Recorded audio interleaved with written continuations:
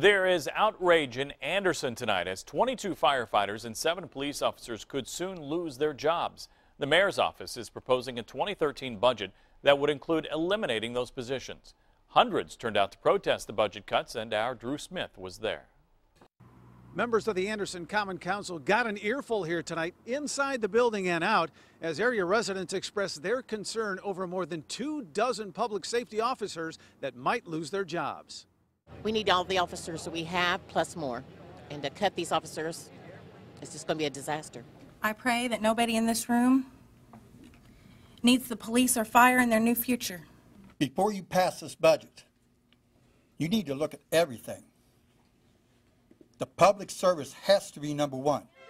The mayor's office claims $9 million in lost tax revenue since 2005. A reduction in the number of residents and closed factories make the staff reductions necessary. Both chiefs of fire and police have assured us that they can maintain our safety levels with the reduced staff.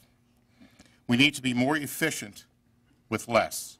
Scott Calhoun is president of the Fraternal Order of Police. He says a staff reduction of seven officers will make it unsafe for residents. What happens if we have two, two armed robberies that go down at the same time and, and we have, you know, possibly a hostage situation or something like that? How do you respond? Jamie Grant is one of those patrol officers with little seniority who could lose his job soon. I feel like I'm in a state of limbo. I mean, I want everybody to understand that it's very serious. You know, if you lose seven officers, I mean, no telling what's going to happen to the city. There is litigation underway between the firefighters union and the city over language in the current contract. Union Chief John Smith did make a few brief comments.